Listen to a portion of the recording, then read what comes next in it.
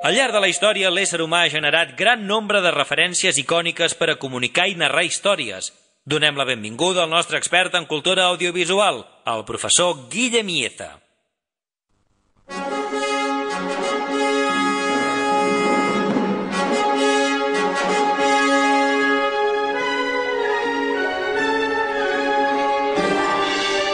El que estàveu esperant ja ha arribat.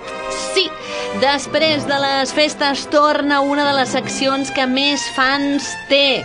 Aquestes històries increïbles amb el professor Guillem Ieza. Bona Què tarda. tal? Benvinguts. Quant de temps? Us trobava a faltar ja, eh? Sí, sí, sí. Bueno, és que mm, ens expliques coses tan increïbles que, clar, que t- estem impacients per saber-ne més. Jo he d'explicar-les també, perquè ara que vinc una mica grassonet del Nadal, doncs ara tinc ganes d'exterioritzar informació, a veure si així es nota una mica coses, en els mitges coses. que m'acaben de sortir, que abans no tenia.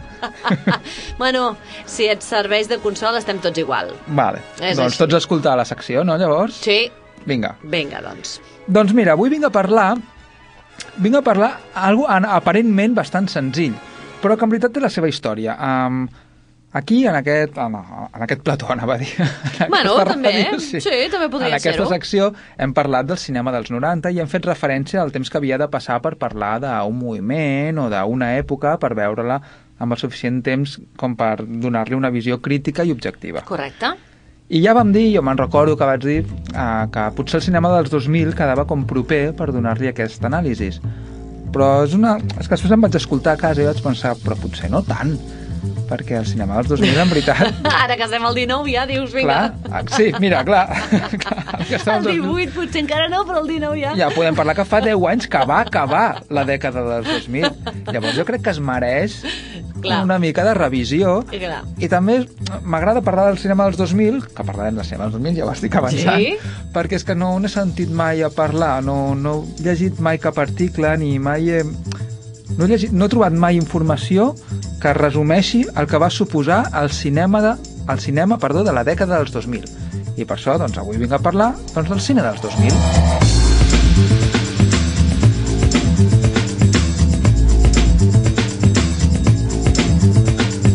I per on comencem? A veure. Doncs mira, um, es diu que el cinema dels 2000 és la fi del cinema.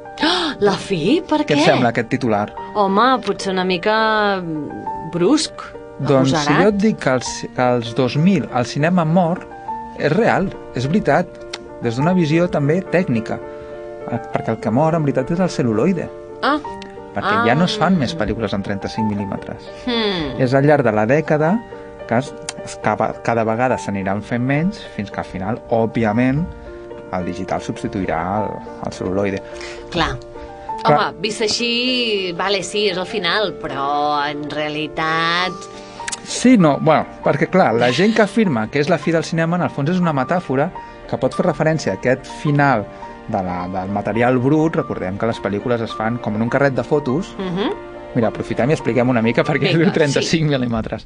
Uh, ja sabeu, els carrets uh, antics de fotografies, el carrete que no podia tocar la llum perquè si no es balava i tal, si allò ho medeixes amb un regle, allò medeix 3 centímetres i mig. Ah, Són uns 35 mil·límetres. Ahà. Però és que aquella pel·lícula, o sigui, aquella, clar, és pel·lícula perquè està en un rodet, però en veritat allà, allà estaran les fotografies que tu faràs amb la teva càmera que, fa, que haguessis fet Sí. en el passat amb la càmera. Uh, és que, és que el cinema és fotografia en moviment, és a dir, és, és el mateix, el que passa és que ho reprodueix ràpidament i són fotografies que donen la sensació que es mou. Com quan, a, quan érem petits en els canto, a les cantonades dels llibres feies dibuixets i ho passaves ràpid i semblava que dibuixaves una pilota que, que anava rebotant. sí, És això el cinema, en veritat. és això. És una successió de, de fotografies, però fotografies igual que les que revelaven els vostres pares. Vull dir, Mhm. exactament el mateix. El que molt ràpidament, donaven les- tan ràpidament com 25 fotografies per segon. I llavors dona la sensació de, de, de moviment. Uh -huh. I això és el cinema, per això es parla de cinema de 35 mil·límetres. Què passa quan parlem del cinema en 16 mil·límetres? Doncs eren la, la, la meitat de petites, diguem-ne, la pel·lícula, amb la qual cosa també la qualitat, al ser projectada en gran, doncs es veia més gra, perquè hi havia com més imatge a, a, a fer-se gran. I amb 8 mil·límetres, que eren les caceres, encara tenia més gra, i per això que eren de qualitat doncs, més baixa. Val. Tot això ja estem al cinema digital, ja queda parlar de dinosaures, això ja queda com molt enrere. Res, ja no, no, no queda ningú que gravi així. Ja no, Potser no. algun cara, algun friqui, no? Mira, jo vaig estudiar la carrera de cinema i la meva promoció, jo sóc de la promoció del 2008, Mhm. va ser la última perquè el projecte final de carrera era fer un curtmetratge, que no tothom el podia fer perquè era molt car la pel·lícula, en 35 mm. Clar. Llavors entraves en un concurs i et tocava i tal. Jo vaig tenir la sort de fer-la. I va ser l'última promoció que va fer una pel·lícula amb 35 mm Carai. perquè la promoció del 2009 ja es va passar al digital. Llavors és com poder, no sé, em toca com de prop, perquè jo he arribat a fer cinema en 35 mil·límetres i tinc 37 anys, la qual cosa, Clar. en el fons, tampoc és tan, tan, tan, tan antic. No, O no, sí, no. no ho sé. No, jo crec que no. A més, la universitat hauria de ser una miqueta pionera en ensenyar noves maneres, no? Vull dir que... Jo crec que era la única que et permetia fer pel·lícules en 35 mil·límetres abans, perquè Ah. era molt car de fer-ho. Llavors digital era molt més barat. clar. Al revés, jo crec que va ser l'ESCAC, eh, l'ESCAC, diguem-ho, Mhm. va ser de les que més va allargar els 35 mil·límetres perquè s'ho podia permetre. Val. Fins que Val. al final suposo que va avançar així, ja no és necessari. Ja està, si ja no té ja sentit, està. perquè ja ningú més rodarà eh, d'aquesta manera, doncs deixem És que més que res és que també els projectors dels cinemes passen a ser digitals. Clar. De manera que inclús et costa més trobar sales d'exhibició de 35 mil·límetres. Total, que al final és, un absurd rodar amb 35 Mhm. mil·límetres. Tarantino ho va voler fer no amb 35, sinó amb 70 mil·límetres amb, amb aquesta Los odiosos 8, que es va estrenar fa un any o dos, no, no me'n recordo. Sí? i va voler rodar amb 70 mil·límetres, que, que és encara molta més qualitat. I clar, molts cinemes tenien a, a la problemàtica de que no tenien el, el projector, saps? Que, Clar. que requeria aquella pel·lícula. A tots els cinemes on es va veure, el que veieu, en veritat, era un pas del que va rodar Tarantino al digital. Es va com convertir perquè es pogués passar a totes les sales. Però només hi havia un cinema a tot Espanya, que era el cinema Fenòmena de Barcelona, que sí que tenia un projector de, de, de cinema dels antics. Allà la vaig veure jo. Ah, doncs mira, Mhm. se suposa que la vas veure amb més qualitat que si anessis ara als cinemes, a qualsevol altre cinema, Mhm. encara que sigui superbo al cinema. Mhm. Va, tornem als 2000. Molt bé, vinga, doncs, Quin va. break acabem de fer, eh? Sí, sí, sí. No, però el que. No, això ens va bé perquè aquesta fi, aquesta fi del cinema que feia referència, en veritat, al, al material, material tangible, Sí. en veritat també s'està parlant de que les possibilitats narratives i formals del cinema també s'han esgotat. La primera dècada del mil·lenni, la, la dècada dels 2000, va ser l'última on va existir el cinema com a mitjà de comunicació de masses. Clar, pensa-ho bé. Què, què, què va venir després, ja? YouTube, Uf, internet, internet. Netflix, vull dir... Però el cinema com a mitjà de comunicació de masses, el cinema dels 2000 serà la última dècada on podem parlar, així, el canvi va ser profund. La, di la, digitalització, la digitalització va modificar la percepció i la idea d'imatge cinematogràfica. El canvi va ser profund, eh? A part que, que, com hem dit, ja no existeix el vincle fotogràfic de la imatge en moviment. Per altra banda, també hem de dir que ofereix als cineastes unes possibilitats creatives inaudites, perquè ara ja pots fer mil històries Clar. perquè el pas del digital permet que el que tu has gravat i l'ordinador es comuniquin millor. Mhm. Perquè pots punxar-ho amb un cable, pots fer històries, pots manipular imatges. Mm. Llavors pots fer cinema més ràpidament, amb la teva càmera, amb el teu equip, etc. Una de les conseqüències directes d'aquest salt digital és que els videojocs desbanquen les, les pel·lícules de ficció no només des del punt de vista de popularitat, sinó també en termes econòmics. És a dir, la gent jove, quan parla entre ells, ja no parla tant de per les pel·lícules que han vist al cap de setmana, Mhm. sinó a quin videojoc has jugat. Sí, de fet es donaven xifres i eh, en videojocs es gastaven molts més diners. La indústria movia molts més diners que el cinema. Actualment també passa, eh? Mhm. I clar, però som... A part, els termes econòmics que a mi potser no m'interessen tant, tot i que influirà també en l'impacte social, és això de que els xavals ja no xerren sobre quina és la diferència entre Crepúsculo 2 i Crepúsculo 3, és que a mi me gusta más esta, que seria naiva aquesta conversa, però jo les he tingut amb Sí, Rambo tant. 3 i Rambo 2, Exacte. o Jurassic Park 2 i la 1, quines diferències hi ha. I clar, tot això, doncs, això s'està morint. Sí. Bueno, això ha mort, perquè ja estem a l'any 2019. Mhm. El cinema, també, el cinema també ha de fer front amb conseqüències de, de la creixent importància del fet de, del cinema a casa. Perquè clar, ara ja es venen uns tele... Ara ja no, és que estic parlant de fa del cinema dels 2000, eh? Sí, sí. Que ara ja ho donem com per... que és algú habitual. però les primeres megapantalles aquestes de, al principi es deien TFT, després de LCD, Mhm. ens comencen a la dècada dels 2000. Mhm. I llavors també aquest sistema d'àudio 5.1 o 5.0, jo ja em perdo. Sí, ara no sé si hi ha pel nou. Nou altaveus d'una... Sí, una borrada. Ai, sisplau. Sí, sí, sí. Imagina. I també jo me'n recordo que es venien projectors que et podies ficar Els a casa. retroprojectors, exactament, sí. Amb tot això ja et pots fer al cinema a casa. Mhm.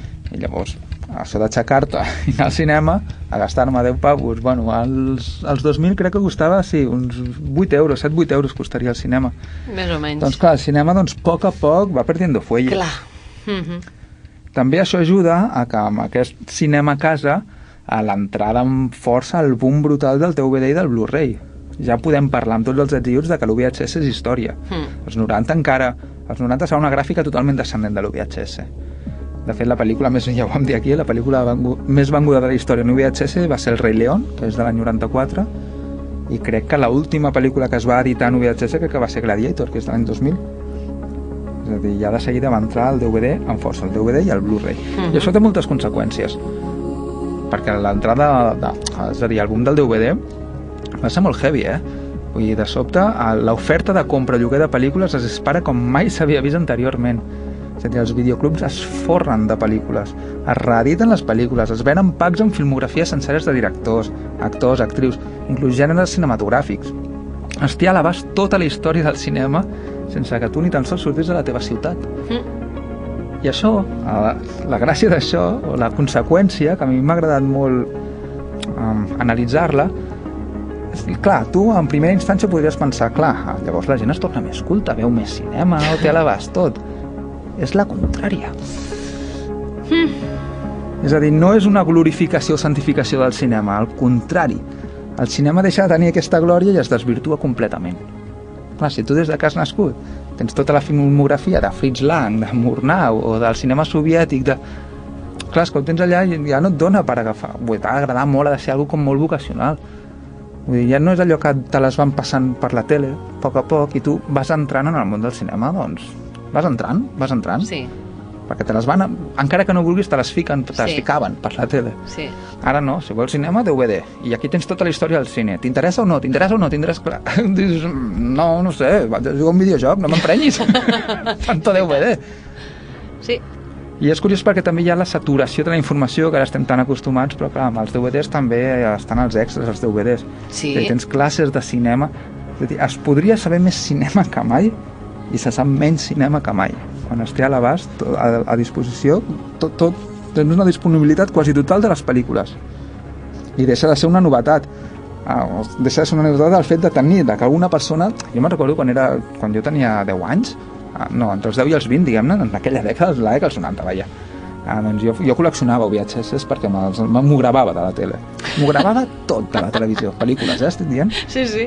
I llavors en els forros dels VHS em posava, doncs, Dirty Dancing, Ghost, Solo en casa, clar, vaig començar per aquestes, Sí. però després em vaig anar com professionalitzant i ja em feia, doncs...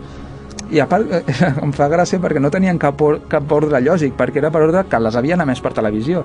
Si després del Padrino havien emès amb Solo en casa, tenien una cinta VHS, El Padrino i Solo en casa. que dius, m'exploten els ulls. Clar, ara, i, i feia gràcia, i les vaig Sí. estar conservant un temps i ara és allò que m'encantaria veure-ho visualment, saps? Però no tinc ni cap fotografia ni res. A més a més és que, clar, tot l'espai que ocupava allò en realitat és una passada. és increïble. Sí, sí. Eren armaris i armaris de, de, de VHS, de betes o, o, o, de, o de DVDs ara o Blu-rays. Però... Mira, jo ara tinc en cinema, jo tinc tres discos durs de dos teres cadascuna, tinc 4.000 pel·lícules, val? Perquè les vaig sumar l'altre dia, a Mhm. 3.900 i alguna cosa. 3.000, amb un saps? No, no, seria... Impossible. Impossible. Impossible. Un Blue Space d'aquests i... No, no, era inviable. Mm. Però clar, les que tenia abans, posa-li 200, les havia vist totes 18.000 vegades. Clar. Tu creus que les 4.000 les he vist, les que No, tinc? Ni clar. parlar-ne, ni parlar-ne. M'agradaria veure-les i les tinc allà, Mhm. però que no, I això potser és com sintomàtic, com És veritat, metafòric sí. del que està passant ara. Que és que ho vull tenir, ho vull tenir. Per què? No ho sé, perquè no puc. sé, ho vull tenir, sí. I és ho perquè tinc. pots. Sí, exacte. Ho posseixes, però després potser no, no ho aprofites com abans, no? Sí. Que abans no ho teníem i, en canvi, quan gravaves de la tele una pel·lícula que volies veure, allò era un tresor. Hombre, Aquella cinta era tant. un tresor. I, hi- havia gent, en la classe hi havia un cert tràfic de pel·lícules de, de, que havien sortit per la tele. Clar. I segur la tenia sense anuncis i era una passada. Bueno, perquè algú era- que s'havia dedicat a anar-la parant, a anar ficant el rec pause, Eh? sempre que sortien anuncis. Perquè amb anuncis et duraven com 3 hores les pel·lícules. Sobretot si eren de Telecinco, que feia un munt d'anuncis. Tota l'estona posaven anuncis. Llavors, la conseqüència de tot aquest, d'aquest abast del DVD, de que tens tantes pel·lícules, el que fa és que cadascú agafa les seves pel·lícules preferents. És a dir, diguem-ne que el públic comença a especialitzar-se molt en el gènere que li agrada i d'allà no el trauràs mai. I comença a haver una diferenciació progressiva del públic. En altres paraules, el públic es fragmenta. I això té unes conseqüències funestes, i és que la cultura del cinema experimenta una lenta mort. És a dir, tu sabràs molt del cinema de sèrie B, del cine de terror espanyol de los 70. Mm. Tu sabràs mucho del melodrama dels 50. Però potser falta algú que, que aglutini tot això, que diguis, no, jo, no, m'agrada tot, no sé, una Mm. mica de cada cosa. I si tu et truquen per fer una conferència, per escriure un llibre, tal, és perquè tu ets aquella persona que sap tant del cinema de terror dels 70, per Exacte, especialitzat. Mm. I és que abans existia un dogma cinematogràfic generalment acceptat. El, el cinema abans es podia entendre com una cronologia d'estils. Però a partir de la dècada dels 2000, les generacions més joves deixaran de conèixer el cinema més enllà del seu any de naixement. És veritat, eh? Sí.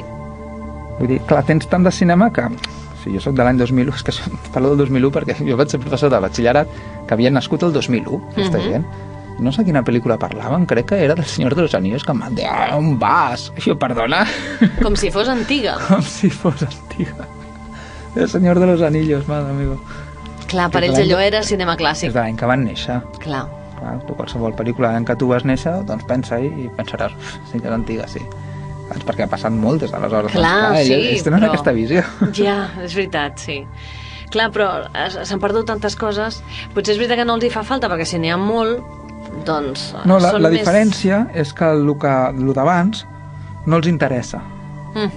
Perquè a part és que eh, la digitalització ha, ha fet que la, la qualitat de la imatge sigui tan bona que qualsevol cosa anterior tindrà un look tan apestoso, segons ells, que els hi tirarà molt enrere.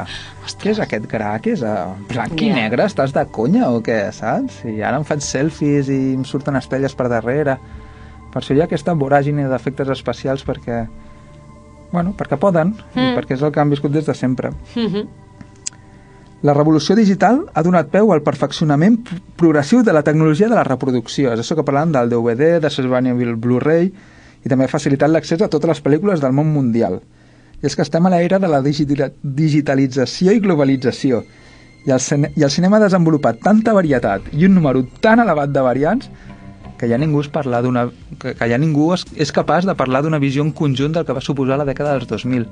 És a dir, en quant a anàlisis, la dècada dels 2000 possiblement és la dècada més difícil d'analitzar de la història. Perquè hi ha un, hi ha un caos. Clar. Que no hi haurà al cinema als 2010 perquè passa un factor molt important a, a l'any 2008-2009, que és la gran crisi econòmica. Sí. I això li donarà un rumb fix a, a, tota la indústria cinematogràfica. Mhm. Llavors, es creen com unes pautes. Es pot parlar d'un cinema dels 2010, que ja en tinc ganes de parlar. Mm. Però dels 2000 eh, era com una torre de naipes, diguem-ne, de, de cartes, que s'estava desmoronant. Sí. I llavors dius, què, què, què és típic dels 90? Quines modes hi havia? No és que no hi havia modes, és que no hi havia tendències, és que no hi havia, no hi havia res, però hi havia tot. I, I aquesta és una característica del cinema dels 2000, és curiós, eh? Sí. Podem parlar que el públic cinèfil mai havia sigut tan impredecible com en la dècada dels 2000. Trobem fracassos de taquilla inesperats, com The Spirit. The Spirit era un còmic, és un còmic clàssic, és un còmic eh, de culte, de Will Eisner, i es va fer una adaptació en pantalla en una època en què estan triomfant molt els, els superherois. Doncs The Spirit és un fracàs. Nicole Kidman ve de fer Ace Wide Shut, on surt despullada i és un exitazo, Sí. i surt amb el seu marit, eh, que està un Chris, Mhm. i després farà Moulin Rouge. És l'actriu del moment. Sí. Totes les pel·lícules que fa Nicole Kidman als 2000 són un fracàs. És que no. Clar, és que la indústria de Hollywood estava com... No sé per on tirar. Mhm. La tendència... Per això hi ha una tendència persistent a fer seqüeles, preqüeles, remakes, Clar. perquè és, sense cap mena de dubte és un reflex de la inseguretat d'una indústria que pateix una sequera constant de guions bons i de receptes per tenir un èxit assegurat. Perquè les fórmules consagrades deixen de no, no t'estan guiant cap a un èxit. I llavors, en aquesta, en aquesta dècada s'estable- s'estableix el principi de que qualsevol cosa és vàlida. Dona igual si es tracta d'una pel·lícula de l'Oest. Els, els germans Coen faran valor de l'ell. Uh -huh. Dona igual si es tracta d'un musical. Chicago és un èxit.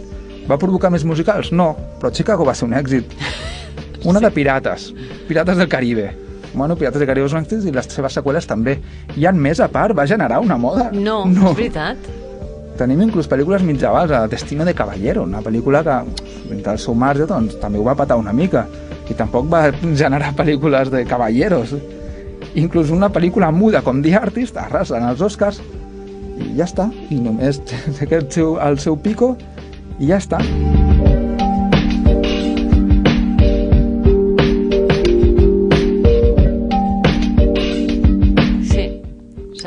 Quasi tots els gèneres que havien sigut donat per morts van experimentar una, una actualització encertada i exitosa. I tot sense que, el, que els cineastes volguessin... És a dir, aquesta m'agrada molt.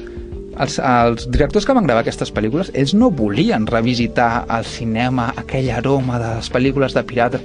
Tu al director de Pirates del Caribe li preguntes, oye, ¿qué te pareció ¿Qué influencias ya de Motín en el Bounty, Mo- Motín a bordo, perdó, aquesta pel·lícula de Marlon Brando, o Pirates de Roman Polanski del 86, i potser no ha vist i et dirà, no sé, A mi que a m'explica. mi què me cuentas, saps?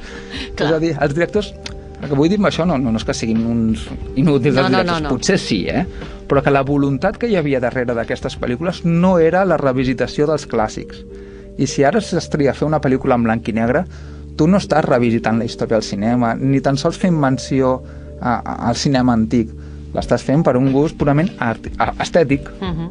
I de fet és que el públic tampoc ho valorarà com una cosa radical, ni innovadosa, ni, ni com molt trencadora, saps? Llavors, clar, mm, és que és, és molt vàlid això de que qualsevol cosa és vàlida. Uh -huh. Els directors consagrats del cinema d'autor rodaran pel·lícules molt diferents. El Todd Haynes farà una revisitació al cinema dels 50 de Douglas Sirk amb Lejos del Cielo. Lars von Trier farà Dogville. Michael Haneke farà un conte infantil en blanc i negre i sense música terrible que es dirà La cinta blanca. Amb això, amb aquesta perfecció formal d'aquestes tres pel·lícules, es constata que, la, que, que, els, que tots aquests directors ja no poden arribar més lluny. Ja no es pot arribar més lluny de, de que s'està fent en el... Què, què passarà? És que llavors havia de passar una crisi econòmica perquè vull dir que el cinema també estava en crisi. Sí. Va arribar com en el millor moment, entre cometes, la crisi econòmica, perquè és que si no hi hagués passat, no sé què hagués sigut el cinema. No sé cap a on estava encaminat. Anava tocant tecles, no? Anava tocant tecles, exacte. I si parlem del cinema dels 2000, doncs, òbviament, quant temps ens queda? Ah, un parell de minuts? Un parell de minuts? Uh -huh. Va, anem ràpid, va. ostres, tu. No sé si hi ha un segon capítol dels 2000 o ja saltarem al 2010. Saltarem al 2010, deixa'm dir, òbviament, perquè Sí. si estem parlant del cinema dels 2000, que la, la gran notícia dels 2000, que passa el 2001, òbviament, és l'11 de setembre. Hmm. I l'11 de setembre, òbviament, tindrà moltes conseqüències en la indústria cinematogràfica. Sobretot perquè no oblidem el gran què de l'11. El gran què dels atentats de l'11 de setembre, en veritat, és, és la potència de les seves imatges. És a dir, és, sí que va ser una crisi política, els morts, òbviament, eh? tot, tot, però el gran què és que tothom ho va veure des de casa seva, que va ser una realització multicàmera, ja no entraré en detalls de per què, com teories conspiradores, no ho sé, però tu vas veure, estaves veient una pel·lícula d'acció i era real, i clar, tu estaves flipant. I llavors, clar, és el poder de la imatge, no? I això tindrà, doncs, moltes conseqüències. Si vols, mira, el faré més extens Vinga. i podem arribar a fer un segon programa algun dia. Molt bé. Et sembla? Més, sí, per trobar-li més eh, coses en comú de, sí. o, o, o més eh, característiques de tot el que va passar del 2000 al 2010 a És interessant, no? És que el tenim sí. aquí al costat i potser faltava aquesta visió de dir, ostres, és veritat, ostres, és veritat. Sí, sí, sí. I com Mira. sempre tens raó amb tot. Ai, que bé. És així, és Doncs així. Són les M'aprofito històries... o no? Sí. Són les històries que ens explica cada setmana el professor Guillem Mieza i que si us aneu per tot alguna, doncs ja, ja esteu, esteu tardant. Aneu-vos a la web de Ràdio Santa Perpètua, apartat podcast, busqueu Crèdit Variable i allà trobareu de cada divendres una història increïble que ens porta ell. La propera setmana seguim. Gràcies, Guillem. Molt bé, una abraçada. Apa, adéu. Adéu.